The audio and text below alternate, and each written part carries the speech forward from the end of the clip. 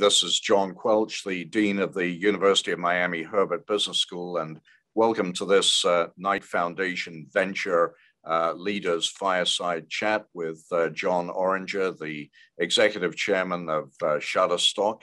And uh, with me this evening uh, to help the discussion is Michael Wilson, our Senior Lecturer of Entrepreneurship in the Management Department here at Miami Herbert Business School. Uh, warm welcome, Jon. Thanks so much for uh, sharing uh, uh your story and your time with us. Uh, I want to start, if I may, just with a very simple question of uh, what, what, what is Shutterstock and how did it originate and where did the name come from? Sure. Shutterstock, I, I started Shutterstock in 2003. It was a side project, actually. It was a side project to help uh, 10 other companies that I had previously started that all needed imagery. It was 2003, and it was pretty hard to get uh, commercially licensed imagery for the web. Uh, and I started shooting images myself. I put them on this kind of side project website. I called it Shutterstock at the time. It was a name that was available and kind of uh, evoked uh, the, the, the feeling that I, I wanted to have for the product um, which was a subscription product, all you can download. The images were royalty free. You pay for them once, you can use them anywhere in the world. Um, uh, yeah, and and what happened was that uh, side project became bigger than the other ten companies. Mm-hmm. Closed down the other ten, focused on Shutterstock, and here we are, 18 years later, a four billion dollar public company. I think I read that you had uh, taken hundred thousand photographs in one year to uh, build the uh, the bank, but you were kind enough to the public to edit them down to thirty thousand before you went uh, commercial, right? Yeah, I, uh, I bought a camera. I knew I needed to start the marketplace somehow. I had the chicken and egg kind of issue that all marketplaces have. You need uh, the buyers and the sellers. you need the the product before the buyers come in and buyers aren't coming until you have the product. So decided I could probably figure it out. So I went around with a camera, got people to sign model releases, got property releases, got commercially released images on a website, and started selling the first subscription stock photography product.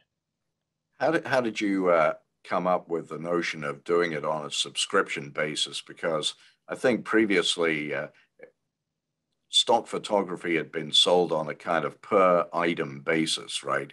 Uh, but you you you completely threw out that model. Yeah, it was um, it was early on. It was my own experience. I was I was um, iterating on a lot of different uh, marketing kind of mechanisms to sell my other products, which were software products. So I needed imagery of that would convey feelings or that would um, describe certain situations. Um, and they were often generic photos that um, you know people can use to describe other situations as well. Um, they could be as simple as you know uh, early e-commerce, like someone looking at their credit card and typing in the, the number on a keyboard. Um, really simple images that didn't exist yet, um, and I needed a lot of them. And so uh, it was early on in the internet. The advertising models were were pretty new. Um, and a subscription just made sense. It was I needed several images a day. I didn't want to negotiate price for each one. Um. I didn't want to have to call somebody up, uh, and so that's what I did. I made it at the time. It was like forty or fifty dollars a month for any one of my images, which um, they weren't that great, honestly, but they did the job.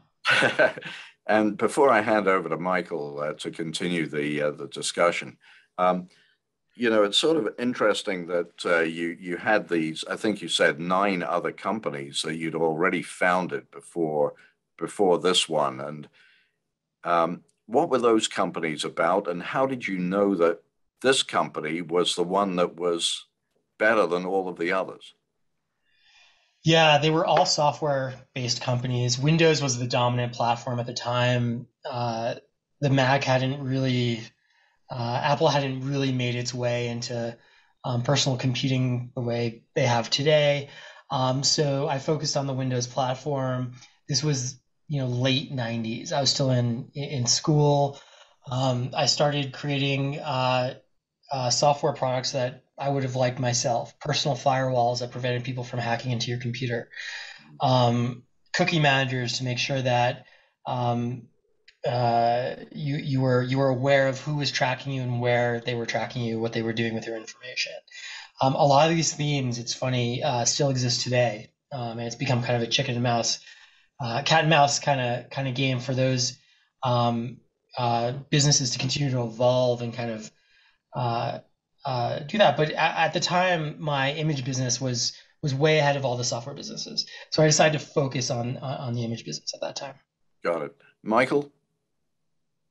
Yeah, sure, Jon. Uh, thanks for being with us. Um, we kind of want to go back in time. I mean, you're a college college student, like many of the uh, the viewers tonight, and so you're on the clueless side. I mean, were you programming in in Fortran and Quick Basic? And you know, how did you how did you you know begin to iterate and tack and and know that you could hire your first employee? Yeah, so it was the late 90s. It was around 96, 97 when um, when I started to create these products. Uh, I used uh, Microsoft Visual Studio. Uh, so I used C Sharp and Visual Basic um, at the time. Uh, in your dorm room? Yeah. Is this where you are? Okay. That's that's where I was in the dorm room. Um, and then on the web side to create the web applications for the e-commerce pieces, which those things didn't exist either. Right. Um, there were some gateways like authorize.net and some others that would allow you to kind of figure out how to pass a credit card through and get a bank to clear it. Um, I use Perl for all of those web services. All right. Um, so between all of those tools, I was able to develop software and sell them online. I pretty much had to develop all of those services myself because they did not exist at the time. Okay, and then uh, so you're getting some traction. Um, 1999 rolls around and there's a there's a crash like the bubble like like nobody wants to hear anything with the web in it. So what are you doing? How you how are you eating ramen noodles? How are you paying your bills? Yeah at the time uh, this product called SurfSecret was a it was a privacy and security suite. Um, the internet did crash but i was able to continue to sell that that product. Um, i was a kind of a one man show with a bunch of consultants um, contractors uh, that would help me um, fix bugs and um, improve the product and you know work on the next release and stuff like that. So I was selling hundreds of thousands of dollars worth of the software in my dorm room, honestly. Wow. And, and, you know, most computer scientists they're a little bit bashful, a little bit you know they're nocturnal. Like, did selling come easy to you? It was just a, a force of like you needed the the the you know the cash flow did you have to practice? Or you know who was inspiring you to to to build this right? You know. It was it was mostly experimentation. I mean there were there were there were search engines like you know google was just coming um, online. Yahoo was around. Um, and there were definitely businesses that were that were forming and and selling things. Um, you know the the the the uh, companies that went public without revenue that got the crazy valuations that then fell really quickly. Um, that was a different strategy. I didn't follow that strategy. Um, uh, even though at the, at the time it seemed crazy that I was not uh, until it did crash. But um, I remember pets. That, pets.com. Yeah, pets.com. Um, turns out it was a great strategy, just wrong timing. Right. Um, yeah, it was it was slow and steady and iterative. Um, I would build the product feature by feature. Um, it was a subscription, right? So it was a you would you would buy this this like 20 digit key that you would put into the software product, and the software product would work for one year. And then after the end of the year, you would need to go buy another code and stick it in. Um, it was the it was early kind of shareware um, software, and so it became addictive. Like as I would get more sales, I would try to figure out how to get even more sales.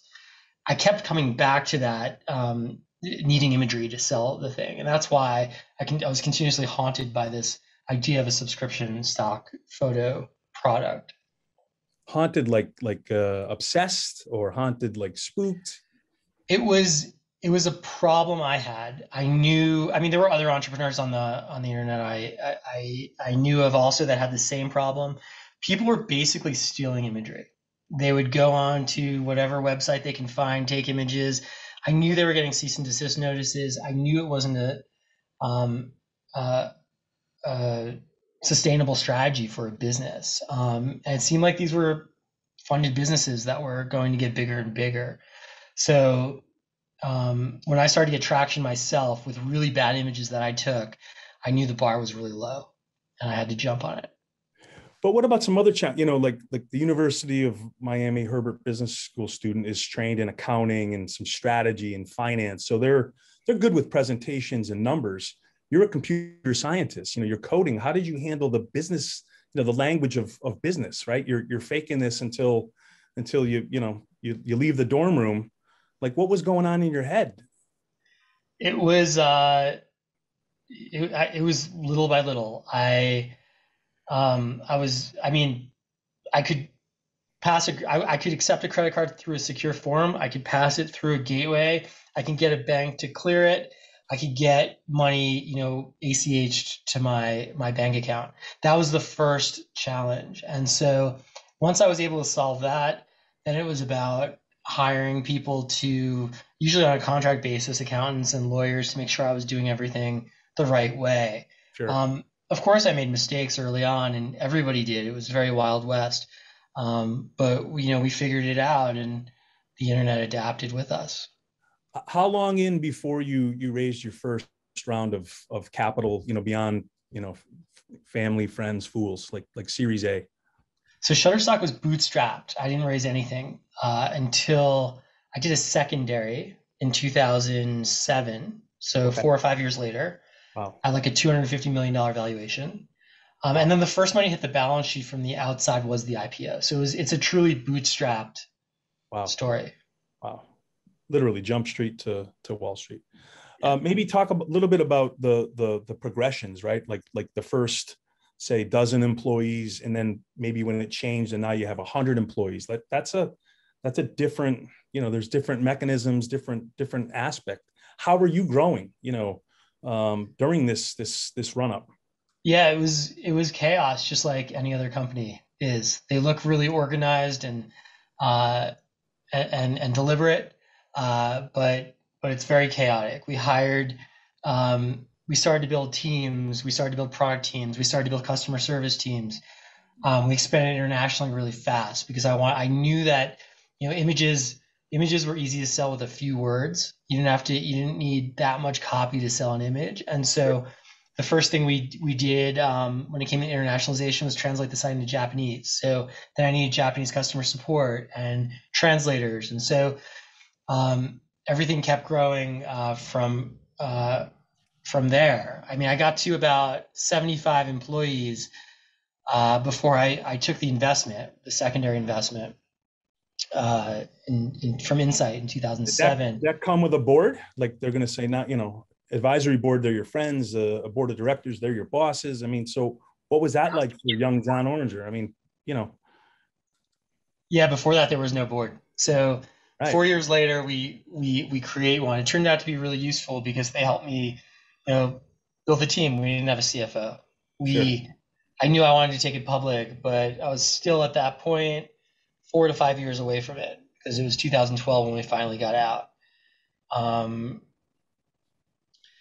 I was also, you know, not so sure how long. I, I knew I was able to to create um, the thing I created and continue to build the marketplace. But could I manage?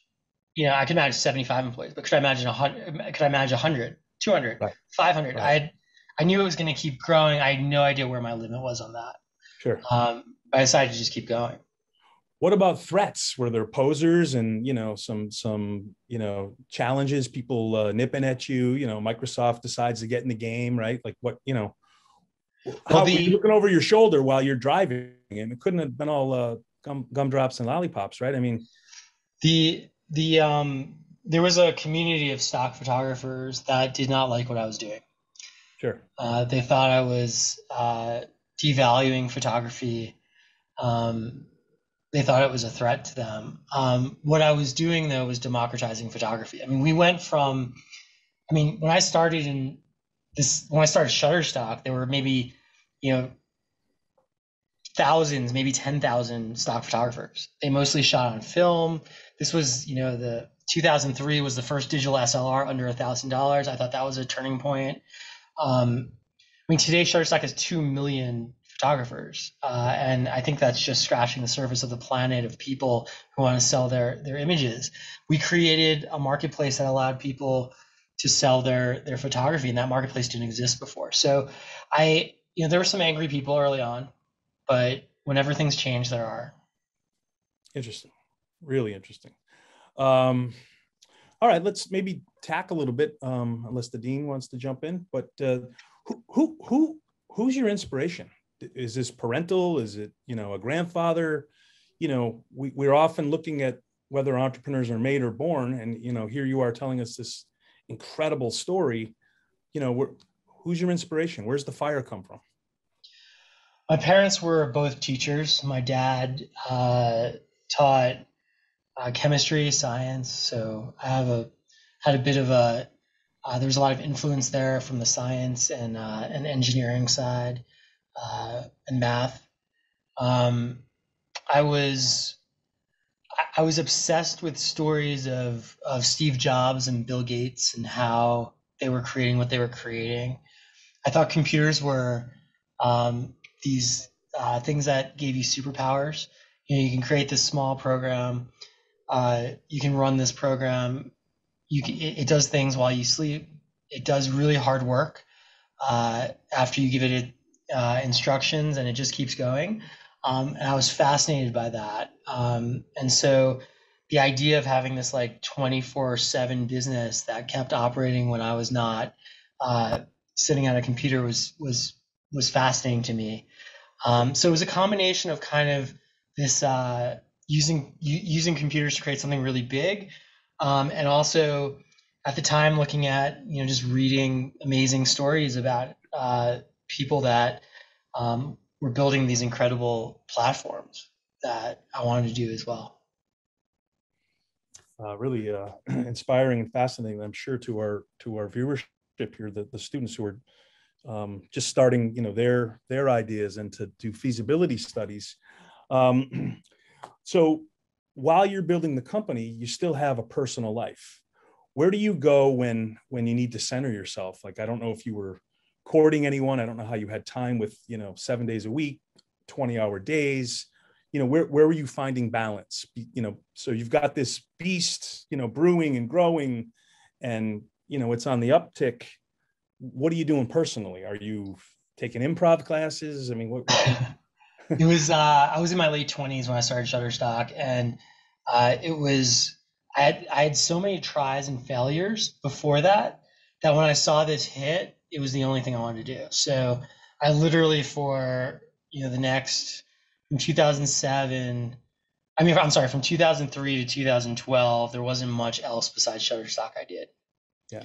Uh, maybe sleep yeah common thing dean you know often has uh the, the founder of home depot was here and he they were opening up so many stores they, he didn't want to take time to go to the bathroom like like he just 24 7 right it becomes a part of your blood and, and adrenaline um Yep. Would you would you describe entrepreneurship? I mean, again, it, it just sounds so joyous, um, different from my experiences, pers- you know, building companies. Um, what about the loneliness of it? You know, some have described it as unprecedented inert loneliness. Like, you know, when things were really tricky, you had to fire someone, or you you couldn't afford to hire the right CTO, and you're, you know, the trade-offs.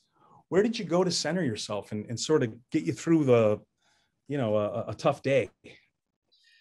Yeah, it was hard. I mean, the the thing that you start to realize is that while while I, you need to be all in in order to be successful, and pretty much i mean you have lots of employees that care about their job but it's it's a job for them and it's your life for you.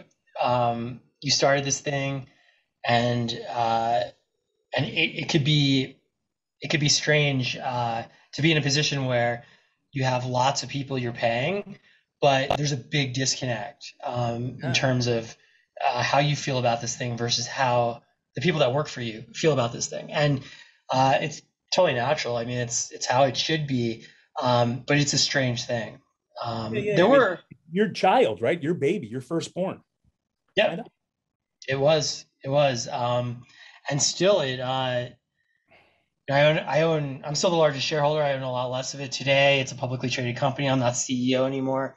It's still something I think about several times a day. I dream about it. I wake up thinking about it, um, and I go to sleep thinking about it. It's uh, I think it's going to be like that forever. Was there a point in your life that that someone came into it and and got you to uh, maybe decompress, go you know out to the apple orchard? Like like what do you do in your off time? I mean, you're you're a photographer, so are you taking pictures and contributing as well? I mean, where you know where do you reset? Yeah, I have. I, I had enough hobbies that I was able to um, to disconnect sometimes. Uh, friends in the city. Uh, I played guitar. I learned how to fly a helicopter, something I always wanted to do. So I took lessons, started taking lessons in 2000. Um, I think it was 2008. Um, yeah, I mean, you could do all of those things, but there's still only one person at the end of the day making the big decisions. And with that, like your philosophy, do you pay yourself first or last, and why? I mean, I built. I wanted to build the company to be uh, really big, but I also wanted to be sustainable. Uh, we paid our employees really well. We continue to. Uh, we pay in equity. We pay in cash. Um, and then at the end, it's it's it's what's left over when it's a private company. Um, you decide, you know, are you going to make some acquisitions? Are you going to pay a dividend? Are you going to um, uh, make some more capital investments uh, in the business?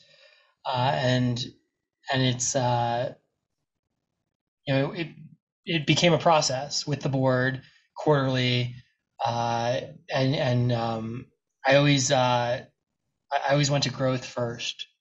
Uh, but the company's always been profitable. So um, there was always a balance, but it, but it was always uh, uh, first to grow and then uh, to get to get the profits out. Well, the the the Q and A is uh, ringing off the hook. One one final question before we have the audience participate. They're super excited to to ask their their challenges. Um, what was the favorite part of your journey?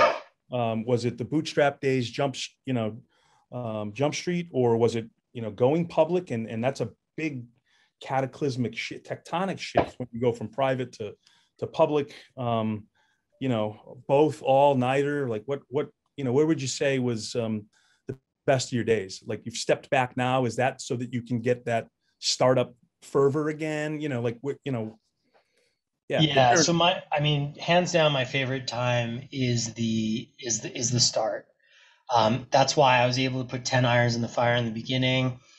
Um, and, and now we're trying to do a lot more of that with Pareto, which is uh, this, this incubator that we're building in Miami now.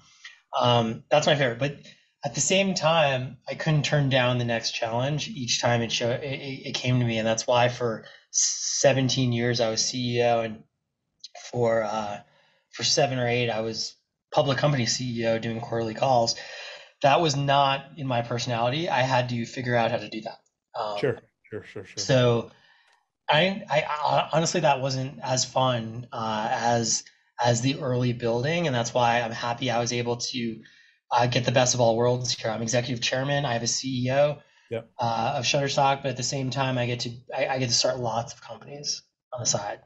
Right, and we're uh, we're blessed that you chose Miami, which seems to be um, you know lots of people that are are consciously coming here and so you know the second half of this hopefully we'll we'll talk more about um, how we can interact but uh, i'll turn it to the dean and then and then um, there's there's all kinds of questions that we're going to start throwing at you from, yeah from so uh, you know let, let me uh, you know thank you Jon for the answers uh, encourage our audience and uh, especially our students we have students from uh, michael's class but also from david major's strategy class and other students. So please uh, send in your questions. Michael's uh, reviewing them as I speak.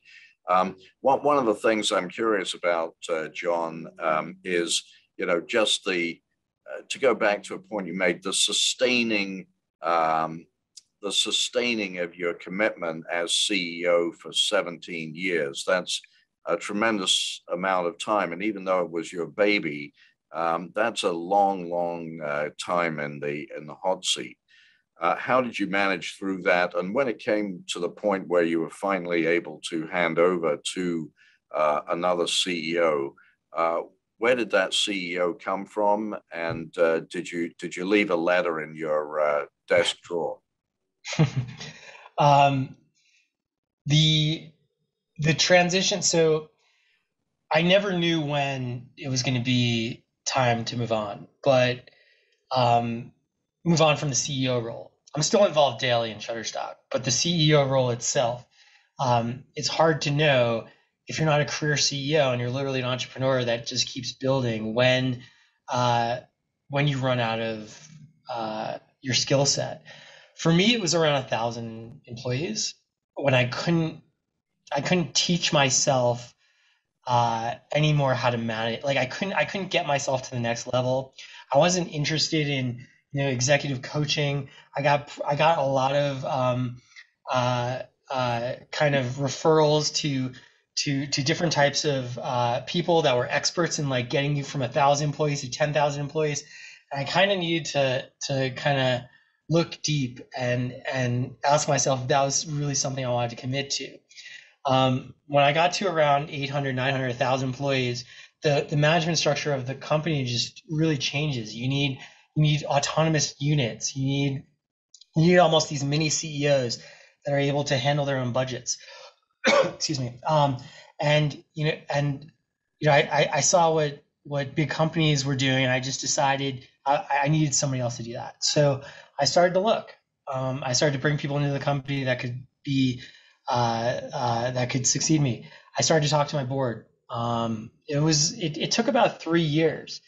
Um, today, Stan uh, Pavlovsky is our CEO at Shutterstock. He's doing a great job.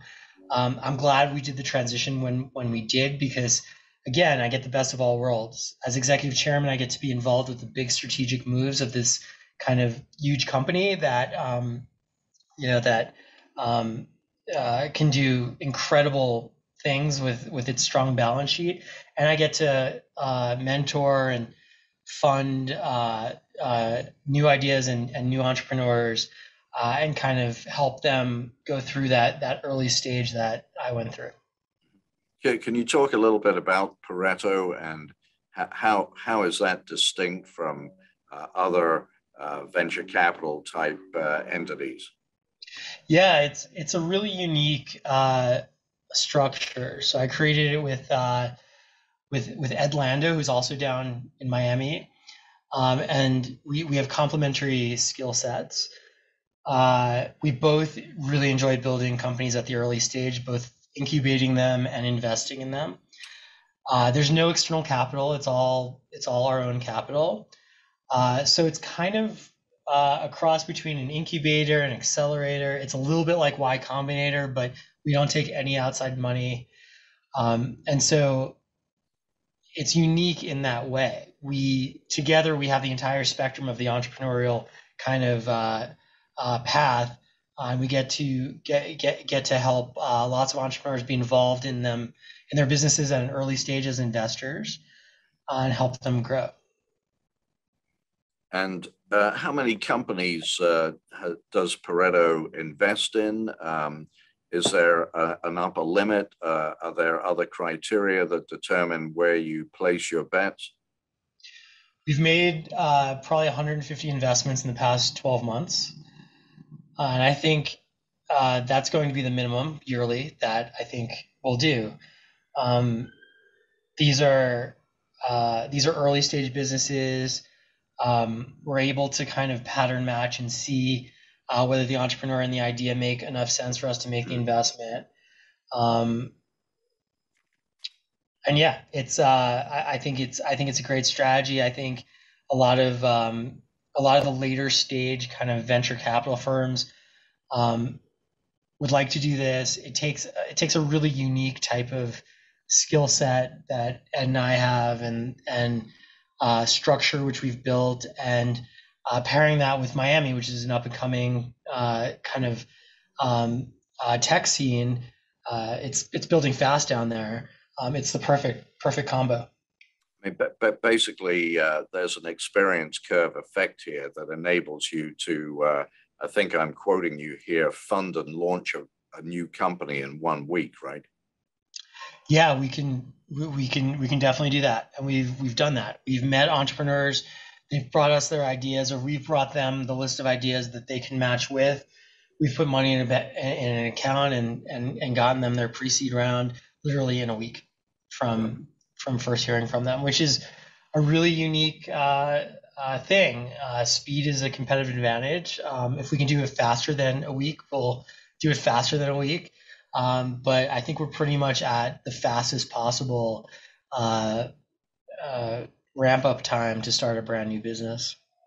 And is that is that more prone to error, or you feel like you have a quality quality selection process uh, that's just simply compressed to your competitive advantage in time, uh, or are you trading off the uh, speed against the the risk of uh, more error?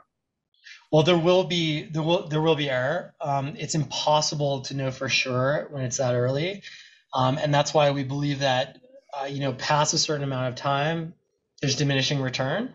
So if you have conviction in that time period, uh, we make we make the investment. There's a reason why it's called Pareto, um, and we will wind up spending 80% of our time on yeah. 20% of the investments. Um, what we try to do though is is is invest in entrepreneurs multiple times. Because just like it took me you know 10 tries to get to shutterstock it may take us 10 tries with entrepreneurs. And so uh, we, we we hope that they they stick with us uh, and we can get that full pareto uh, data set that, that we need to, to get to success. Okay let me let me hand back to michael because we have lots of uh, questions from our students yeah, yeah, broad range here. But uh, uh, Ethan asks, Jon, um, how do you know who is going to be trustworthy and loyal to allow in your company?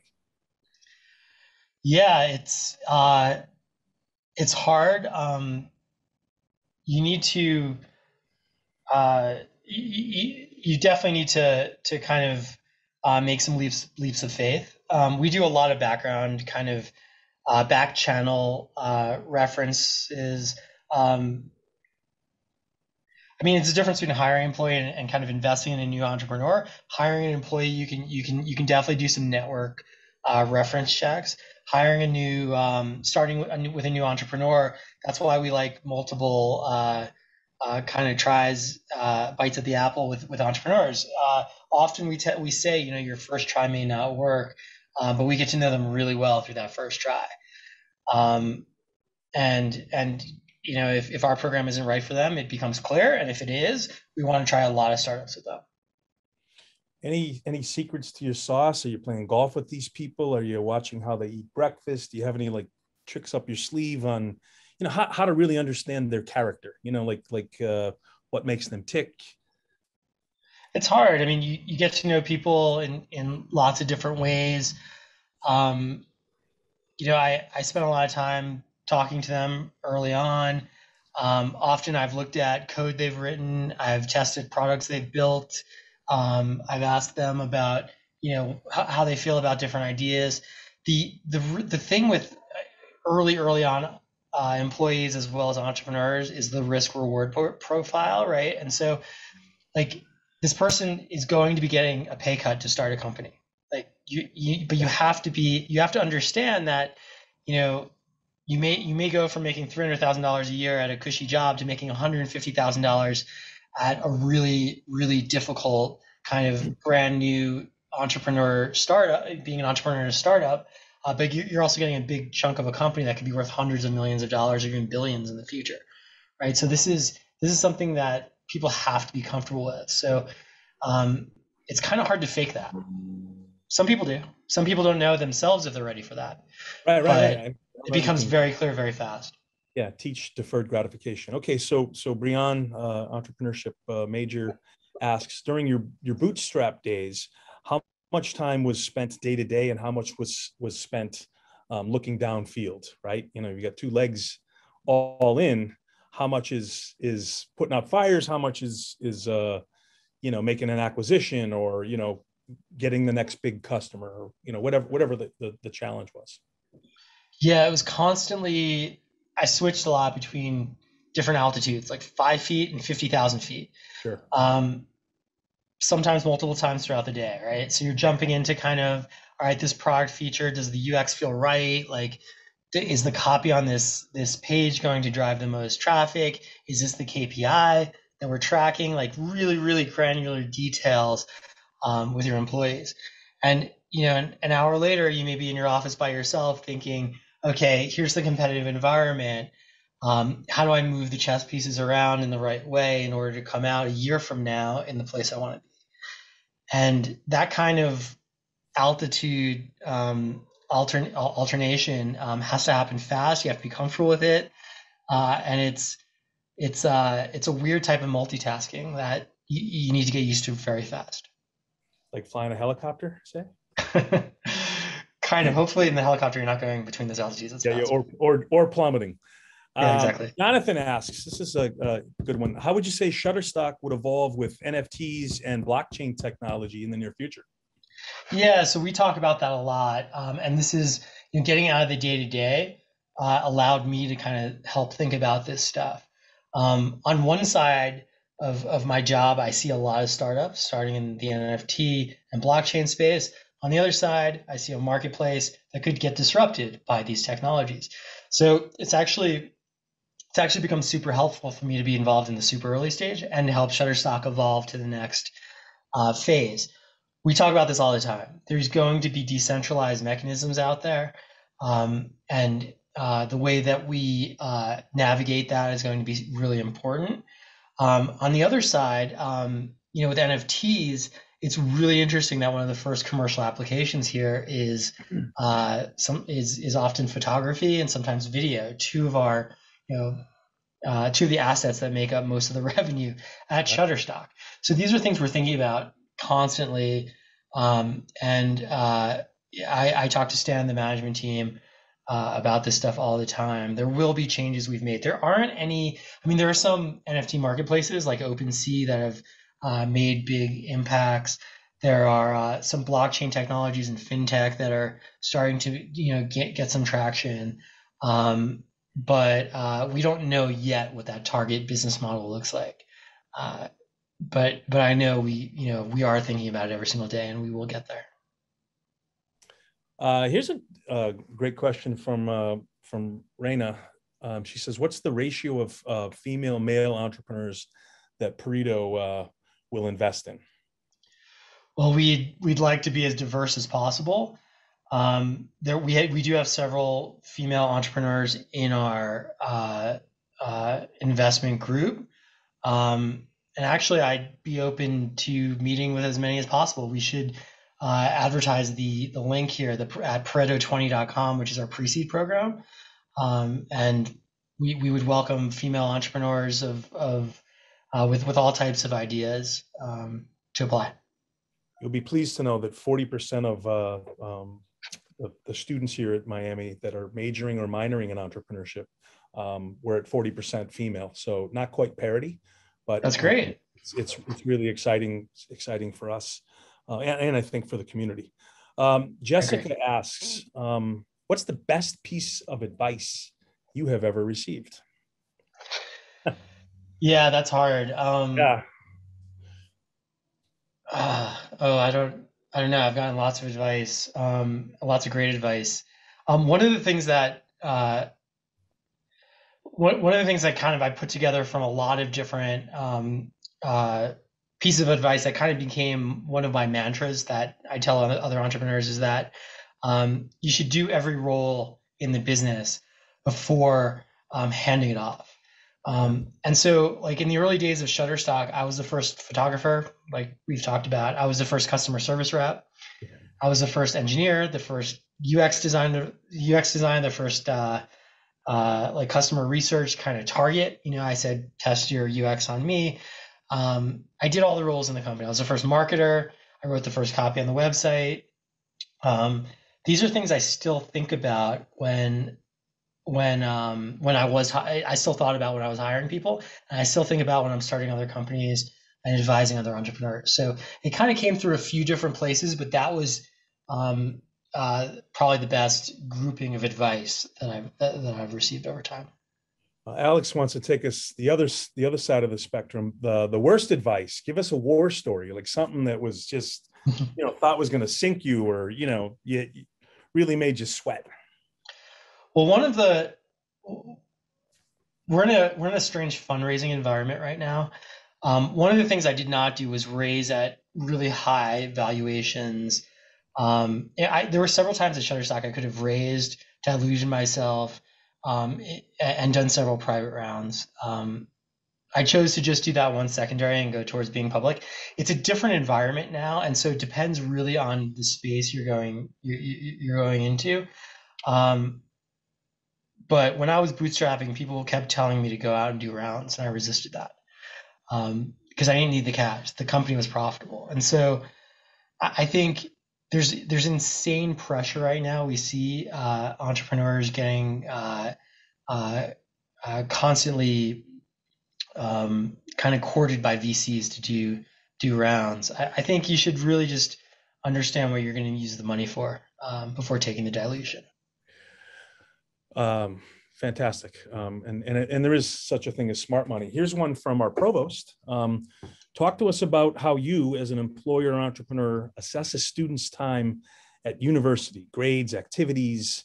You know, do students put too much emphasis on, uh, you know, the the coveted A? I think for when it comes to the skill set of entrepreneur, it's it's it's probably th- those are probably not the KPIs. Um, and I, I, can tell you personally, I didn't get A's in school, so um, I, I, probably um, uh, uh, wasn't wasn't that great of a student actually. But what um, w- what you do need is this kind of grit, this this um, this persistence. Uh, you know you're you're constantly the second you start there's going to be three competitors that started with you that are all well funded right being able to um know, this is something that we talk to our entrepreneurs all the time being able to stay focused calm um, have your strategy and just every single day execute um, that is really uh, the skill set that we look for it's hard to evaluate for um, uh, but but but that's really what what you need, and it's that kind of obsessive. I, I, look for that kind of obsessed look in people's eyes. You know, when they there's like a there's there's a business idea that matches with their personality, and they were li- they will literally run through brick walls to get stuff done. Yeah, and you know, oftentimes here it's it's really difficult. Like, can we teach uh, grit or temerity? You know, some scholars are attempting to to study mindset growth and and and things like grit. But at the end of the day, you know, it's it's a judgment call, right? And and and there's trade-offs. And um, so let's see, uh, Thomas, you know, in that vein, wants to know more about about that entrepreneurial mindset, right? So we can look at we can't really do genetics without putting you into an fMRI, but like culturally, your parents were teachers. So, you know, was your rabbi uh, promoting you? Was it a coach? Like, where did you get your quest, your your fire, your your you know stick to itiveness yeah i mean i was i was obsessed with with technology entrepreneurs and and reading about every little thing they did to understand um, how, how they got to where they they got i mean i knew i knew early on a lot of people did that um, you know technology was going to be um, uh, something that that changed everything in our lives uh, pretty dramatically. And with that kind of disruption and change comes opportunity to build. So my my question was always like, what are those next things? How do you how do you um, you know if if if Bill Gates was able to drop out of college and build um, at the time a multi-billion dollar today you know trillion dollar company how um, you know how many how many tries is it going to take what do i have to learn how do i make sure that um, i maximize uh, the time where i can take the most risk which is usually during you know probably at the tail end of, of, of your your university journey kind of you know instead of entering your first job start a company that th- these are like the moments where um, you, you can take these kind of risks i was obsessed with trying to figure that out and I knew that um, I didn't want to get a job. I mean, I wound up getting jobs, yeah. but uh, they were different. Um, and, and I knew I wanted to build. So the, the, those were kind of my uh, uh, the things that drove me. Uh, truly fascinating. The, uh, the the the viewers can't get enough. Um, I don't know, Dean, if you have other things. I can. Uh, I think we're we have a hard stop at six. uh, unmute myself here. Um, so um, one, one of the things that um, uh, you've already referred to, Jon, and I think it uh, reflected in the Pareto concept is uh, mentoring. And I, am wondering whether or not you uh, had any um, serious mentors uh, early on, uh, other than family members, mm-hmm. and what makes a good mentor? Because I think part of what you're doing and giving back in a way through Pareto is is that. Yeah, throughout the years at different phases, I would ask different people. Um, I looked for people that have been through things before, right? So before I before we went public, I reached out to 20 um, uh, public company CEOs and asked them if I can ask them questions. Most of them ignored me. A couple of them said yes, and I I wound up talking to them. Um, it's it was it was things like that. I was always kind of curious. I was always seeking out. I was always asking questions. Um, and I think that's that's kind of part of uh, being an entrepreneur. Also, is is is going out there and not being you know forcing yourself to get out there and and and, and ask people those questions. Um, and those are you know that's the way I learned. I learned by throwing myself in the deep end. Um, after asking you know as many people as many questions as I could possibly again early on it wasn't possible i didn't i just did not have the network so early on i basically was again in my dorm room you know visual studio and some perl code and a server that was in the corner kind of heating up the room um, and blowing out the circuit uh, in the hallway uh, every week so uh, I didn't really have it, you know, but over time you build that. Um, you get more access and, and you start asking more questions. And um, I'm actually I was actually surprised at how many people would give me their time. Um, you have to try a lot. Uh, a lot of people will not, but they will. Can you rem- can you remember a couple of those CEOs? I'm I'm curious. Uh, who were the ones who uh, answered your call? The entrepreneurs, I bet. Yeah, yeah, they were the entrepreneurial ones. Um, I don't want to throw out their names right here, but they were they were early technology company CEOs that um, you know, had had been through certain things that uh, and and you know they got on the phone with me for 30 40 minutes and let me ask questions and that was pretty much all i needed. Um, and so so yeah so a lot of our, our entrepreneurs do the same. Um, and i'm happy to help them. What what percentage of your time each week do you think you spend uh, coaching or advising other people? It's it's hard to measure because they come through text, WhatsApp, email, sometimes a phone call. Um, but it's lots of little little interactions. Um, uh, and and I, and I can tell they, you know, I mean, sometimes I don't have the answers. You know, the world's different today than it was when, when I started companies, and you know, sometimes I just don't know. I can just kind of offer my opinion. Um, ultimately, the entrepreneur is is is you know responsible for their business and um, and that's how it is. Um, but yeah, I mean everything from uh, kind of the, the early technology decisions, early hires, fundraising, um, we, we we deal with. So um, you had to pretty much create your own ecosystem. The word ecosystem didn't really exist when you were starting out. So we talk about the entrepreneurship ecosystem uh, in Miami, for example. To what extent do you think uh, that actually adds value and increases the probability of uh, individuals succeeding? And if so, how? Yeah, the ecosystem is important. We're in this kind of hybrid work environment these days. Uh, so, you know, people are going to be everywhere. Um, the thing I love about Miami is that it feels like New York in the early 2000s, um, except it's moving a lot faster.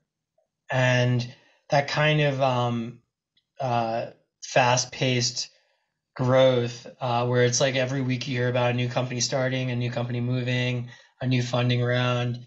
Um, uh, the, these are the things that, that, that, that build insane momentum. Uh, you know, when, when Miami has its first multi billion dollar IPO or exit, you know, and those people go off and start other companies. These are going to be uh, pretty amazing events for for that city. I think through COVID, um, I, I, think the, the fact that we now have multiple places people can start businesses and hybrid environments that can kind of help lots of different cities around the world grow, I think is a good thing and will help us uh, build more faster. Do you think we have enough engineers? There's never enough engineers. Yeah. um, there, you know, it's it's always hard. It's just about every single business we start, um, and even Shutterstock, finding engineers is still on the top of the problem list, and I don't think that's going away anytime soon. Um, but the good news is we, you know, we have more and more resources and tools for people to learn how to become uh, great uh, engineers and programmers. Uh, the tool sets are getting, um, you know, there's lots of these low code, no code kind of hmm. tool sets like Figma um, and, and, other uh, uh, uh, tools that help people, you know, code faster and, um, and, and get things to market quicker, get MVPs out there. Um, you know, things like React, for instance, are are, are pretty amazing creations. Um, and I think these are, I think it's going to create more entre- more engineers faster. Great. Uh, for us. Uh, what, what's the difference between an executive chairman and a CEO? Uh, it's it's different in in every uh, every executive chairman I've met has a different role. Um, so it's a pretty pretty amorphous thing. Uh, but uh, the way that uh, we've defined it um, is it's it's more of a strategic uh, capital allocation, uh, M and A, uh, big product road roadmap, kind of multi-year planning uh, type of role, uh, which, which which works for us. Okay, and um, are, are, you a good chairman? the CEO is not being second guessed all the time. I I try not. We have a great relationship. Uh, maybe he'll say he'll say say maybe he'll have a different answer, but um, but look, I I knew that when I switched from executive from CEO to executive chairman, I was not going to be involved in in the day to day details. I knew there would be uh, decisions he would make that um, maybe I wouldn't make, but um, you know, you can look at our stock price, and since I left, it's it's it's doing pretty well. So uh, I have no desire to micromanage him. So I think this uh, has been an unusual conversation because in 55 minutes, I believe the word leadership has not been mentioned once. So, what's the difference between leadership and entrepreneurship? I mean, I, I don't think you can be a good entrepreneur without being a good leader. So they're they're kind of they're they're kind of uh, uh, complementary. Um, I think. Uh, yeah, I mean, I being an entrepreneur is hard. Uh, it takes it takes bringing you know a group of people to the place you, want to bring them to, and often um, it's not. It, it's it may be clear in your head, but it's not in theirs. Um, and so um, you know, drawing that storyline and and bringing them along, uh, it, it's it's not easy, but it's required. Um, is can you talk about the impact of COVID on photography? Did people take a lot more photographs and put a lot more material up on your website during COVID? Or were they yeah, not our, or were they not getting out and socializing and therefore they didn't have anything to photograph except the cat?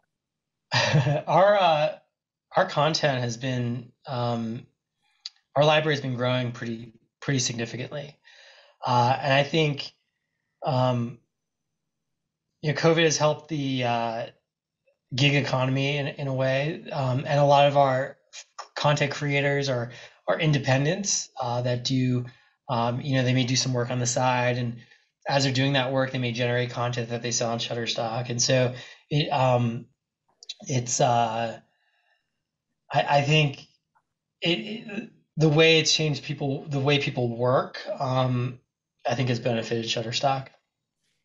What what makes a great contributor on Shutterstock? What uh, what are the keys to success as a contributor? Yeah, the best contributors are the ones that are are thinking ahead as to what content's going to be needed in that next phase.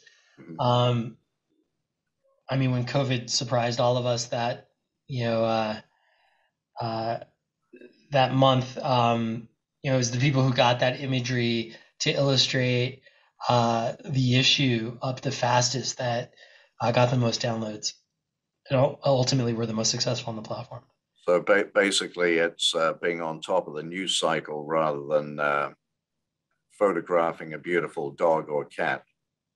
Yeah, yeah, it's often it's often um, being timely with with with with with kind of trends in the world, um, creating content that engages uh, our customers.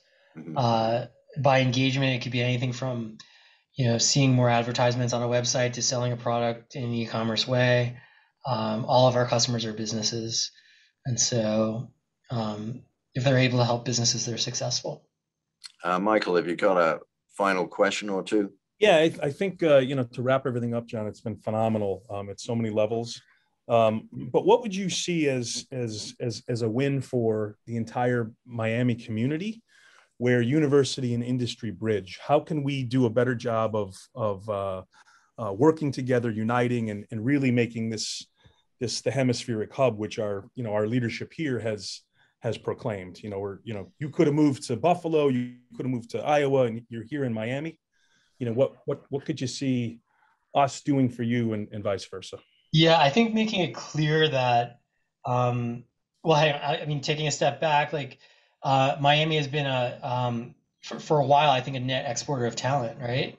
Um to the facebooks and silicon valley and googles and huge companies um uh, on the west coast maybe some in new york. I think can you know making sure students know that we want to build this ecosystem and there's a support network there that's building at the same time um, i think you know companies get built success gets created people make money and then people go off from those companies and create new companies. It's that kind of network effect that we need to create in miami uh, and south florida and just letting people know that that is an option down there. Um, and it's it's you can be more successful than you've ever been. Um, and every day keeps getting better is is important Terrific.